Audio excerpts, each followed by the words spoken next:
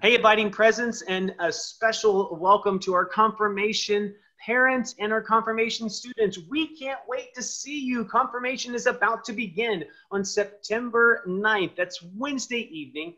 And for every Wednesday, we're going to have confirmation from 7 o'clock to 8 o'clock. And right now, we're going to be doing that through Zoom. And you can see the meeting ID is listed right below. So that way you can join us every Wednesday night from 7 to 8 o'clock, starting on September 9th. And Chip is going to tell us a little bit about maybe what to expect. Chip. Hey guys, so when you come to your Zoom class, it'll be almost like normal confirmation. However, we'll be in Zoom. We will be able to break out into our small groups you can expect to see and get to talk to your guides and your friends just as you normally would.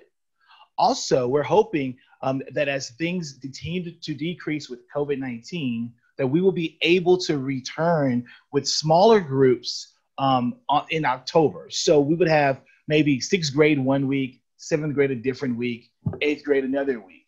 And for, for those who felt comfortable to come on campus. And if you don't feel comfortable, it's okay because for the remainder of the year, that's 2020 and into 2021, we will do everything hybrid. So if you can't be here physically, Zoom is available. Absolutely.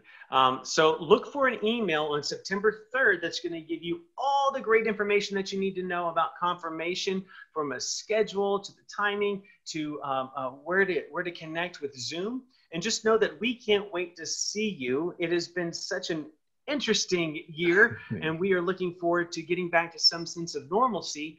And that includes learning more about the small catechism, the Bible, Lutheran theology, and each other. So until then, remember, you are the abiding presence of Christ in the world, and together we are seeking God and serving others in new ways. Can't wait to see you. Blessings. See you later.